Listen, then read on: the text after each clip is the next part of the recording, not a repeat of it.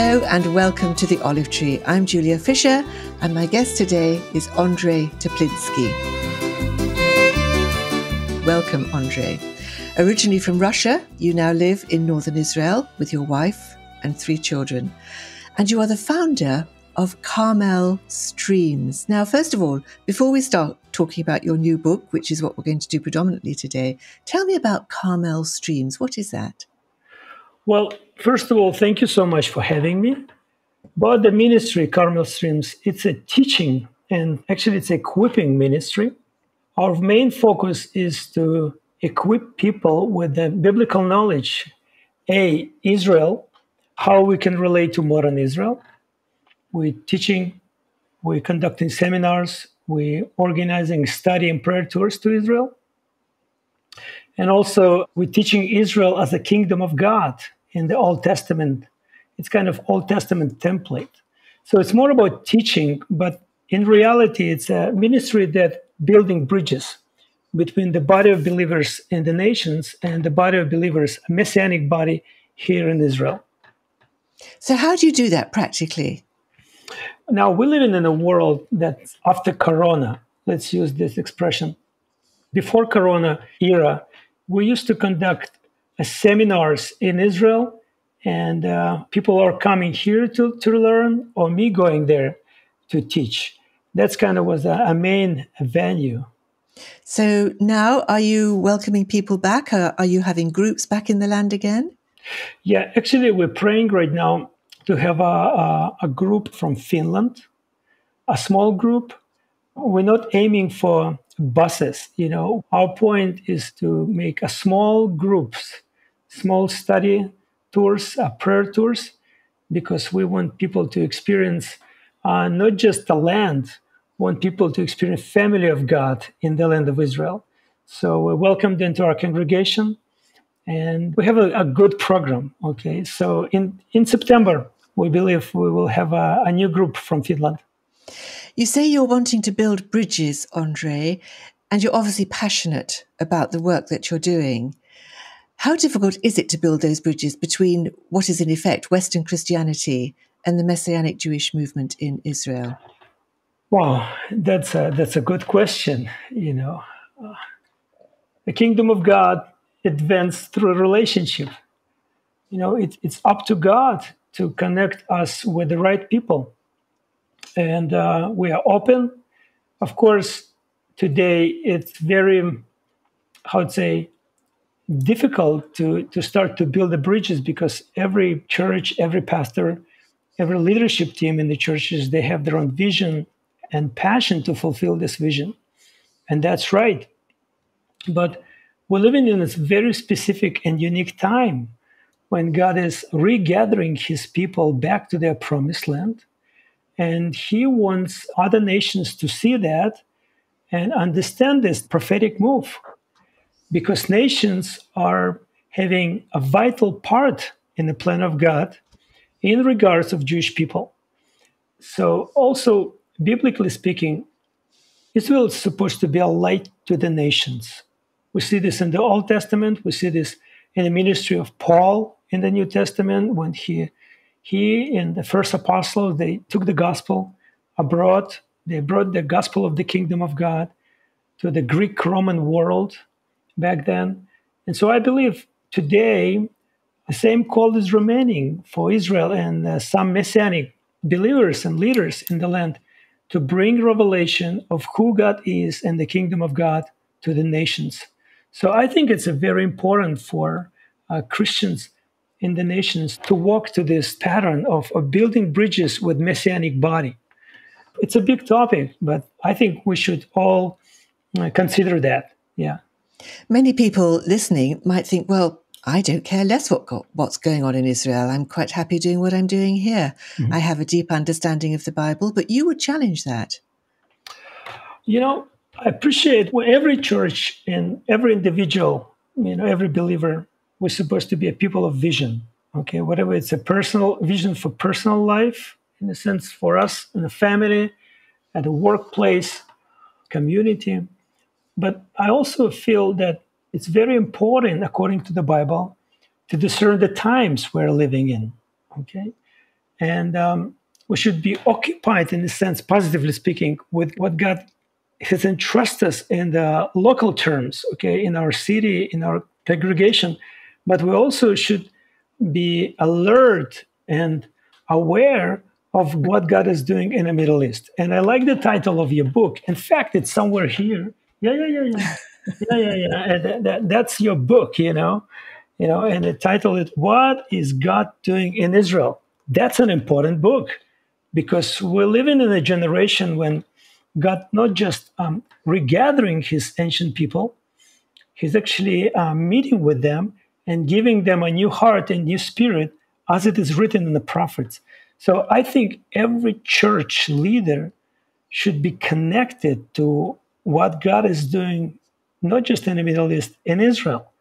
Because I believe the we call revival in the nations should be connected with, with what God is doing in Israel today.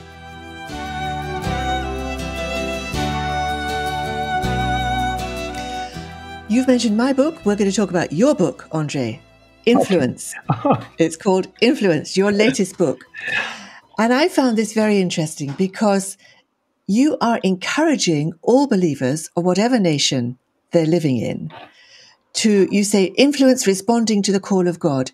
It's to be an influence within their society, but it's written very much with an Old Testament uh, background. Mm-hmm. You're drawing on the scriptures to make your point. Now, let's start with the chapter that you've written perhaps on business, Christians in business. Mm-hmm. You're making the argument that work is as important or is a form of worship to God. You cannot disassociate work from your spiritual life. It's all one and the same. That's very much a Hebrew mindset to begin with, isn't it?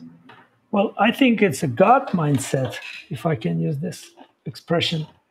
First of all, not everybody is called to be a business person, but many people are called. Okay? When we give in our lives to God, when we say Jesus, yes, we say, well, be my Lord. It's not just be my Savior, be my Lord. That means uh, be a Lord of my time, be Lord of my skills, be Lord of, of my business, be Lord of my money. We acknowledge His Lordship over our lives. That's the point, okay? So now, in the Bible, work was existed before the fall. And this is what I'm writing in the book, you know, and even the fall, we're talking about disobedience of first people. You know, even that that tragic experience, okay, that create a distance between us and God, it doesn't cancel a call on us to work. Okay? And so business people, first of all, should understand that work it's a form of worship.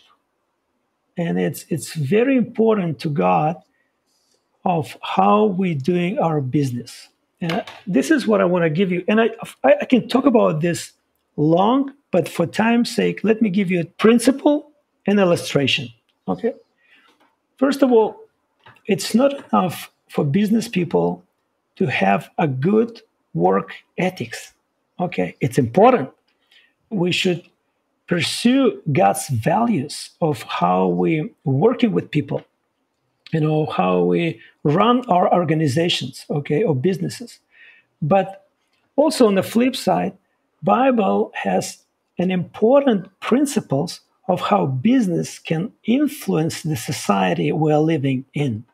So again, I just want to repeat myself. We, the morality is good. We need to we need to be examples of what God is calling us to do, okay, and to live.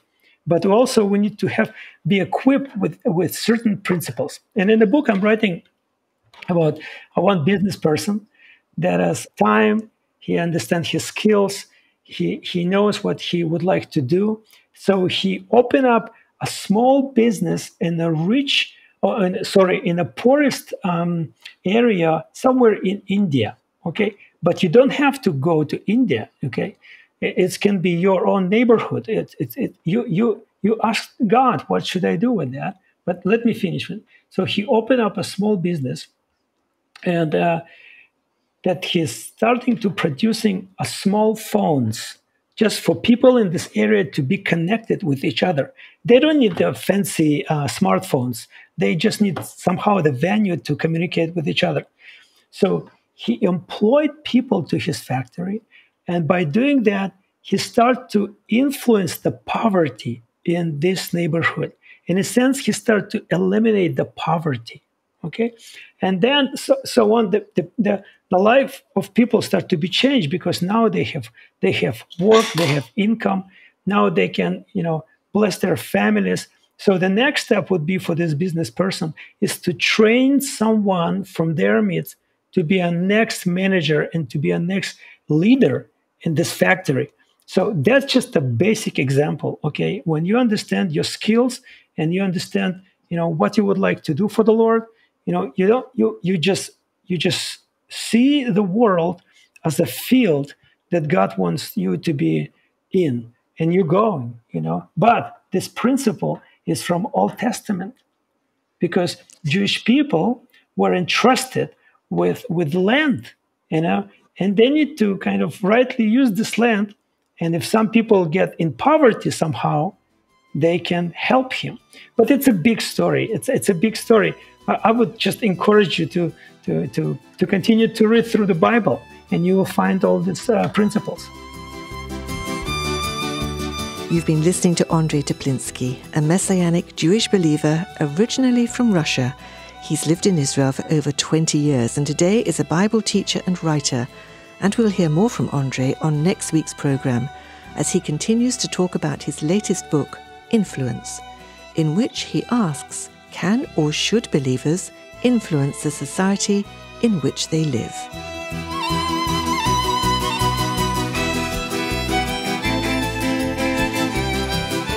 Olive Tree Reconciliation Fund is a Christian charity based in the UK that supports the needs of both Jewish believers and Arab or Palestinian Christians living in Israel and the wider Middle East. If you'd like to know more about our work and receive our free bi monthly newsletter, please visit our website olivetreefund.org. Meanwhile, join me at the same time next week for another story from the olive tree. Until then, goodbye.